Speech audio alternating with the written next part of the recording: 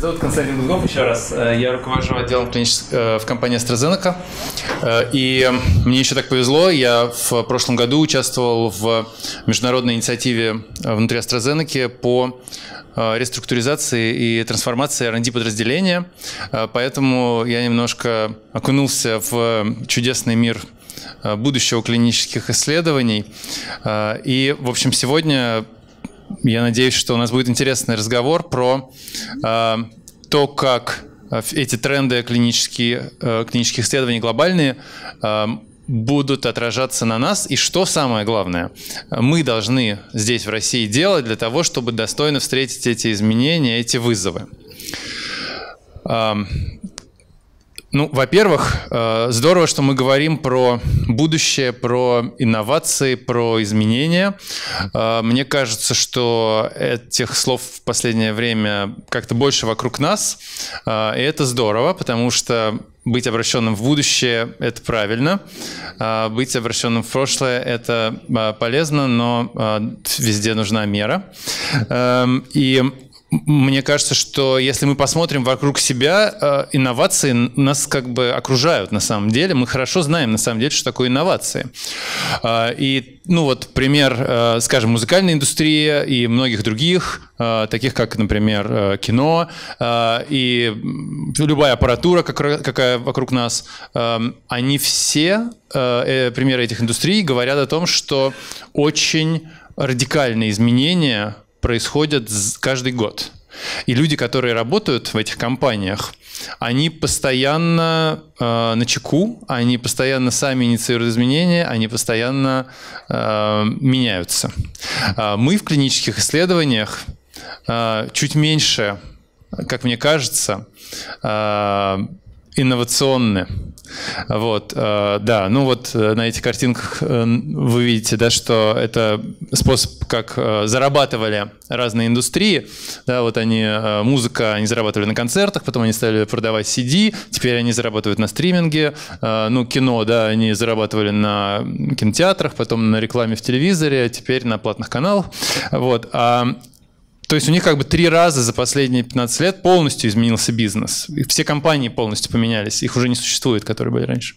Вот. Э, при этом клинические исследования, вот когда мы говорим про инновации, такое впечатление, что вот все, что мы можем привести вот пример реально, это электронный CRF, который как бы в принципе то же самое, только в, в компьютере.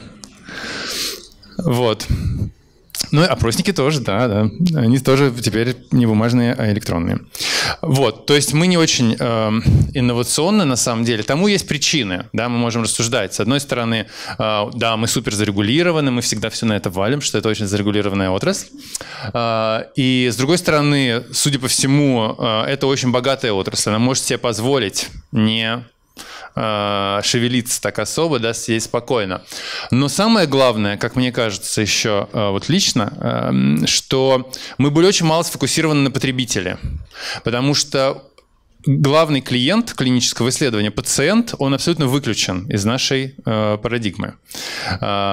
И его никогда не спрашивали, что там вообще он думает, как он живет и так далее. В отличие от всех тех индустрий где они очень жестко завязаны на потребителя. Поэтому э, то, что сегодня мы будем обсуждать, это история про современные инновации, которые, конечно, с одной стороны драйвятся э, технологиями, э, искусственный интеллект, интернет вещей, все что угодно, да, вот все, что вы здесь прочитали, блокчейн, все эти модные buzzwords, они да, они как бы существуют, и они придут в клинические исследования. Но что для нас важно э, это еще и человеческая сторона вещей. Это клиент, ориентироваться на пациента и наши собственные компетенции. Да, то есть компетенции будущего, забегая вперед, да, мы можем сказать, что они будут отражать э, драйверы современных инноваций. То есть если драйверы — это данные и э, клиент, то и наши компетенции как сотрудников компании в будущем должны э, основываться на умении работать с данными, с технологиями и с знаниями наших пациентов. А если есть какие-то вопросы, я просто не читаю вот это, да, и вы... Омики. А, омики — это все, что... Э, это как бы остаток слова, например, там геном, да, там геномики, протеомики и прочие всякие э, персональные э, эти клеточные характеристики, маркеры и прочее. То есть как бы мы, нас всех расшифруют через некоторое время, да, у нас у каждого ДНК будет где-то там, в какой-то базе данных, и суперперсонализированная медицина э, с прецизионным дозированием лекарств для нас будет э, внедрена. Да, это, конечно, здорово. Вот, да. И мы, как фармкомпании, мы будем продавать больше не лекарства, мы будем продавать исход, клинический исход, выздоровление, да, например. Так. Ну и да, вот эта вся история про то, как мы собираемся переписать клинические исследования, основываясь на двух больших вещах. Это данные и это понимание нашего э, пациента. То есть вместо того, чтобы э, сейчас какой-то хаос как бы до клинического исследования никак не структурированные э, потоки пациентов, э, потом э, пациент пытается попасть в клиническое исследование, э, найти центр, понять информированное согласие, потом лечение это просто таблетка, да, это не решение для пациента, как, скажем, Э, предлагает Amazon, там, да, например, или Apple, да, это не решение, это просто таблетка. Там дальше, что, как ты ее достанешь, что ты с ней будешь делать, это твоя проблема. А, наблюдение, да, очень неудобно и болезненно. Вот. Ну и после исследования пациента мы просто бросаем, потому что, собственно, он нам был нужен как источник данных. А, и сейчас мы давайте посмотрим, как мы можем с этим работать, понимая э, принципы э, инноваций в клинических исследованиях в будущем. Ну да, э, значит, я уже сказал, что понятная интрига, э, как найти пациента для исследования, как найти исследование для пациента. Э, это очень сложно, мы уже это обсудили. Действительно, большая разрозненность данных до сих пор это не организовано. И есть шанс, что это изменится. Благодаря, например, электронным медицинским картам которые уже начинаются, начинают внедряться, и они позволят делать две больших вещи. Во-первых, они создадут э, возможность анонимно анализировать большие массивы данных, то есть они улучшат эпидемиологическое понимание, и благодаря этому мы сможем мгновенно делать физибилити. То есть искусственный интеллект сможет анализировать огромные массивы данных, э, имея доступ да, в эти системы, которые интегрированы друг с другом, э, скажем, по всей стране, а может быть и во всем мире. Э, и компания всегда будет знать, сколько ей нужно потратить времени, чтобы, например, сделать набор.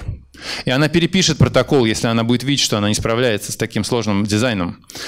А, или, например, э, сразу лучшие центры будут очевидны, потому что информация будет черпаться из э, этих источников, и там будет на самом деле видно, сколько пациентов проходит через каждый центр, а не то, чтобы исследователь будет заполнять бумажный вопрос или электронный вопросник, да, но неизвестно, что он там пишет. А, и благодаря этому, конечно, все станет проще для, будем надеяться, и пациентов, и, и, и нас. Вот. Ну и кроме того, социальные сети и более эффективный э, поиск по, э, через интернет, да, это тоже способ э, выйти на пациентов э, более быстро. Отказ от плацебо это станет возможно благодаря, опять же таки, анализу данных э, средней, обычной, э, нормальной популяции до вмешательства из электронных медицинских карт. То есть в качестве стандартной терапии мы не, мы не будем мучить людей плацебо, мы просто возьмем исторические данные, которые на точно таких же пациентов мы можем подобрать из электронных медицинских карт. А, да, посмотрим, как готова к этому Россия. У нас большой потенциал на самом деле. А, у нас мы знамениты тем, что э, в России очень высокий уровень IT. Российские айтишники работают на весь мир, да, даже будучи лоцированы в России. А цифровизация объявлена национальным приоритетом. И ура-ура, у нас даже внедряются электронные медицинские карты, хотя мы уже очень сильно отстали э, здесь э, от Европы. А, зато, в отличие от Европы, где есть так называемый connectivity issue, то есть э, разные производители электронных медицинских карт не факт, что связаны друг с другом. А у нас есть идея, что это все будет, как и все у нас в стране, очень здорово объединено объединено централизованно, да, а, на федеральном уровне. Конечно, это круто. Хотя э, понятная угроза, вечно висящая над нашим интернетом, э, это изоляция. И вопрос в данном случае с интеграцией с международными системами э, электронных медицинских карт или с вот теми машинами, которые будут делать физибилити электронно, это большая проблема. Если, это, если этого не случится, то мы будем просто отрезаны от, от всего мира, и это плохо для нас кончится, как вы понимаете, в отношении клинических исследований. Включение в исследования Сейчас э, притча во языцах — это информированное согласие на много страниц и так далее, но уже мы видим, э, что э, электронные согласия приходят в нашу жизнь. Э, пока, к сожалению, у нас не отрегулирована законодательно э, электронная подпись, но э, хотя бы теми благами, которые приносят видео как самый популярный сейчас формат для всего, а, наши пациенты могут пользоваться. И уже есть э, исследования э, в нескольких компаниях, которые проведены с электронным информированным согласием, с использованием видео. А, а видео это не просто то, что мы можем показать, и ему не надо читать. Видео это еще значит, что есть интерактив. Он может поставить лайк, а, мы сможем, мы сможем посмотреть, какие части он пересматривал чаще. То есть мы учимся от того, что интересно пациенту. А, пациент может возвращаться и взаимодействовать с этим э, видео. Вот, э, да, и, э, разумеется, для России это проблема в том смысле, что у нас нет э, возможности, подпи- в отличие от нескольких стран, где это уже разрешено, подписывать согласие электронно. Вот, мы вынуждены да, показывать ему его на планшете, а потом подписывать бумажку, что, конечно, довольно абсурдно, но хочется верить, что это изменится. Вот. Э, и что э, еще нужно сказать про пациента. Мы все очень плохо знаем наших пациентов. Э, мы, я имею в виду спонсоры, но я Э, думаю, что я не сильно совру, если мы вместе с исследователями разделим эту ответственность, потому что э, уже как бы здесь маленький, маленький, маленькая песчинка, я бы сказал, полетела в огород. Э, мы все знаем, э, как отличаются результаты в опроснике в feasibility от тех результатов, которые на самом деле э, э, мы видим по набору. Вот, поэтому э, это часто из-за того, что мы не очень хорошо понимаем, особенно как в России идет пациент, кто ему ставит диагноз, э, кто ему назначает э, какие обследования, кто за это все платит, э, куда он должен прийти или приехать, особенно в регионах, э, кто потом начинает его лечить, кто его продолжает лечить, кто регистрирует обострение заболевания. Это все очень сложная история, и здесь мы должны учиться, в том числе у наших маркетинговых коллег, чтобы, чтобы идти вперед. Да, ну и вот Ксения на предыдущей сессии, панели говорила, что наши э, прекрасные э, ГРЛС и Clinical Trials.gov, никто из них не приспособлен для того, чтобы пациент нашел там себе исследование. Хотя изначально Clinical Trials.gov задуман именно для этого, для того, чтобы э, раскрыть перед пациентами те исследования, которые идут. Ну и самая сложная часть – лечение и наблюдение. Да, пациент, как правило, включился в исследование, э, он рад, это, у него появился шанс, но, к сожалению, э, это исследование может быть довольно сложным для него. Много поездок, визитов, э, нагруженные протоколы, непонятные вопросники, куча сложных устройств и, все, и всего, что не работает, ему тяжело, безусловно как э, с этим работать? Разумеется, технологии здесь абсолютно э, играют нам на руку, время работает на нас. Э, и, но мы должны быть готовы с точки зрения человеческой, да, как мы, как мы интегрируем эту технологию в свою жизнь. Э, нам регулятор всегда говорил, что клинические исследования, если да, о них э, мыслить более на высоком уровне, они э, очень слишком сильно, в чем их главная проблема на самом деле, помимо там каких-то претензий к качеству, э, клинические исследования – это идеальная лабораторная ситуация. В этом самое главное всегда была претензия вообще к, к рандомизированным плацебо-контролируемым клиническим исследованиям. Это не реальность. В реальности все не может быть так, как в клинических исследованиях, где мы с утра до ночи их контролируем и тренируем. Да?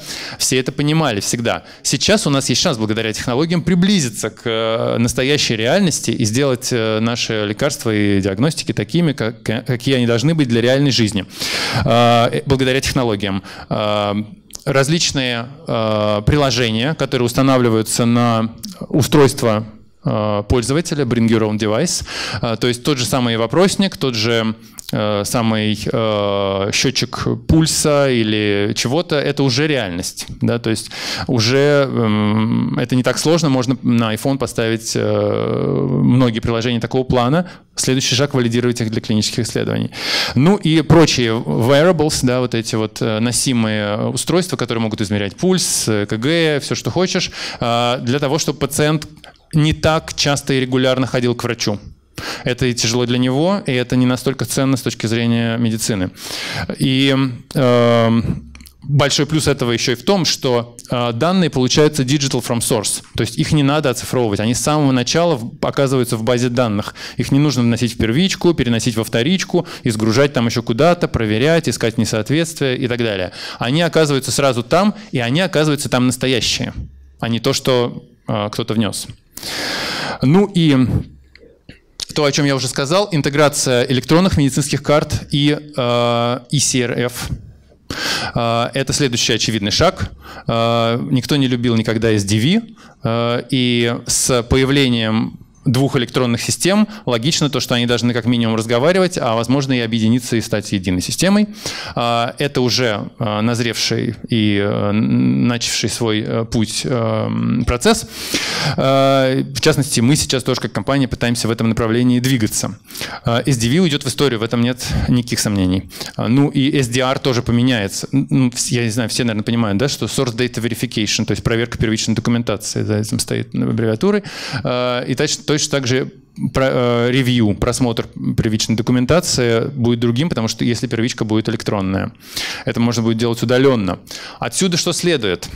Это след, следует то, что роль монитора очень сильно изменится. Для начала, да, вы понимаете, то есть какой, какой масштаб изменений для, э, для нас, для спонсоров. Опа, что это мигает? Эм, эм, да, я начал просто на 5 минут позже, поэтому я не влезаю, извиняюсь. SDV уходит в прошлое, работа монитора меняется абсолютно полностью. А, но и работа центра меняется очень сильно, потому что монитор будет теперь ездить в центр не для того, чтобы проверять центр. Концепция работы с качеством изменяется полностью. А, качественно теперь нужно будет центр оттренировать, чтобы он э, с самого начала все делал правильно, потому что исправить уже ничего будет не нужно, как бы нет, не будет повода для ошибки. То есть если он что-то исправил, это уже невозможно будет исправить. Э, если он что-то сделал не так, да, это уже невозможно будет исправить. Вот. И монитор будет партнером центра, центр будет партнером монитора. То есть это более взрослая позиция на равных. Это не позиция контроля, э, это позиция сотрудничества. И здесь э, перед нами стоит огромный вызов для того, чтобы э, с центрами этот, эту работу начать. Ну и что касается России, для нас, конечно, хорошая новость, то, что в наших огромных расстояниях телемедицина, виртуальные исследования, исследования без клинических центров, это это как бы очевидно плюс. Да, нам не нужно будет колесить по всей стране, тратить кучу денег. А, и плюс у нас будут инструменты, которые будут позволять контролировать и помогать всех поддерживать онлайн. Да, то есть мы будем больше поддерживать центр, чем сейчас, потому что сейчас мы должны были ездить в них. Теперь у нас будет все больше и больше инструментов, чтобы быть с ними рядом всегда, каждый день, 24 часа.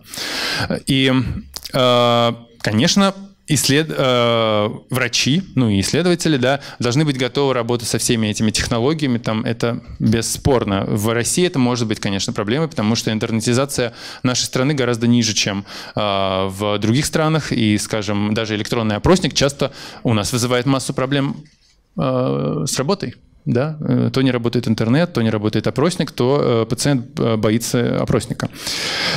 А, да, ну и вот самое главное, наверное, на этом слайде – это а, понимание, что такое качество в будущем.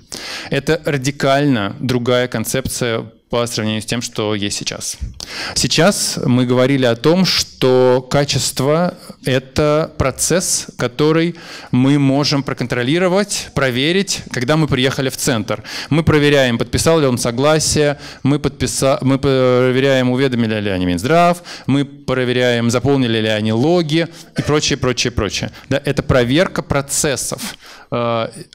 В будущем это все не нужно будет делать, потому что согласие будет подписано электронно, и это все будет видно, это машина будет проверять, да, подписал он его или нет. Или, например, там э, то же самое, все, что выдается, да, будет регистрироваться в электронном журнале, разумеется, ничего этого проверять не нужно будет э, человеком. Э, и уже сейчас мы видим, нас к этому толкает э, risk-based э, мониторинг, э, то, что самое главное, это не качество процессов, которое, безусловно, важно. То есть качество процессов, конечно, это основа всего, это фундамент, это абсолютно необходимая вещь. Но что самое главное, это качество данных, потому что исследование проводится ради данных. И э, данные — это тот э, айсберг, тот кусок айсберга, который не видит проверяющий, не видит регулятор, да? э, не видим мы, когда проверяем. Мы видим, что стоит подпись под информированным согласием, но мы не знаем, кто это подписал и когда. Э, мы знаем, что в учете препарата препарат списан, но мы не знаем, кому ему на самом деле назначили этот препарат. Да? Потому, если, мы, если мы опираемся только на проверку бумажек. Но э, если мы смотрим на данные, данные нам будут говорить о том, что э, что-то пошло не так, потому что статистика неумолимая вещь. И если мы видим, что данные в этом центре или в этой стране отличаются от средних, если они выпадают как аутлайеры, а, это значит, что а, в этом центре что-то происходит не так.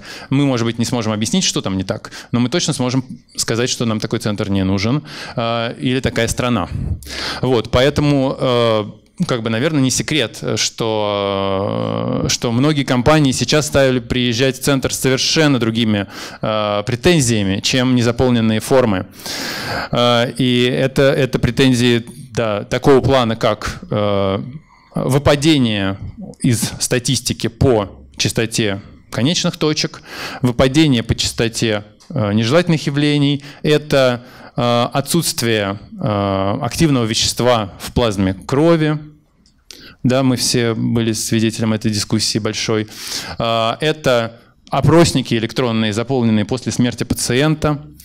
Это образцы опухолей, которые не совпадают по полу с тем пациентом, который указан в форме и якобы получает лечение и так далее. Все это выявляет, все это данные, да, которые э, не видны при проверках. И перед нами стоит большой вызов, как мы вот эту всю а, часть айсберга, которая находится под водой, сейчас будем э, вы, вы, выводить да, на поверхность. Вот. Ну и счастливое будущее после исследования. Сейчас, конечно, пациенты действительно э, расстроены, когда они выбывают из исследования, потому что у них было много заботы, теперь э, она закончилась. Э, конечно, в будущем, если мы ориентируемся на пациента, если мы хотим улучшить имидж клинических исследований, конечно, мы должны вкладываться в то, чтобы пациенты поддерживались. Мы им, как компании, говорим о том, что мы вам больше не, будем предлагать таблетки, мы вам предлагаем решения да, для э, вашей ситуации. А, точно так же и здесь. Да, мы им предлагаем не участие в клиническом исследовании, мы им предлагаем не, нечто большее. Да, мы предлагаем им какое-то решение в их сложной ситуации. А, ну и да, а, после а, исследования для России, а, наверное, Наверное, здесь мы не сильно отличаемся от всего мира. Мы хотим, чтобы клинические исследования э, помогали строить сообщество пациентов. А, в России сообщество пациентов только встают на ноги. А, причем мы должны понимать, что активные пациенты – это новая реальность, это новая норма. Точно так же, как наше гражданское общество созревает, точно так же созревают наши пациенты. Приходят новые поколения, которые совсем по-другому относятся к своему здоровью и к своей вообще эм, э, роли в этой, к своему месту в этой жизни. Поэтому эти новые активные пациенты, которые будут требовать, э, которые будут э, вовлекаться, участвовать в своем лечении, они будут знать и все прекрасно понимают, да, кто врачи уже сейчас, а, они хотят второго мнения, они хотят полезть в интернет и спросить. А, это, вот, это, вот эти новый, новый класс пациентов, э, социально связанные, да, они обсуждают в соцсетях клинические исследования да, между собой. И это тоже очень, очень э, новое, новый вызов для нас. И действительно, открытость с нашими пациентами – это тоже то, что мы, наверное, хотим вот в этой э, переписанной э, реальности клинических исследований в будущем.